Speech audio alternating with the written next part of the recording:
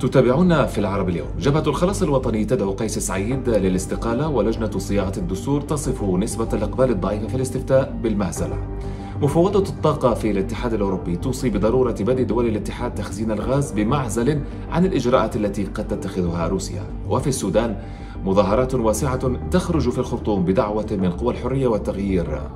تتابعون العرب اليوم الساعة الخامسة بتوقيت غرينتش الثامنة بتوقيت القدس. تتابعونه أيضا على بثنا المباشر على اليوتيوب.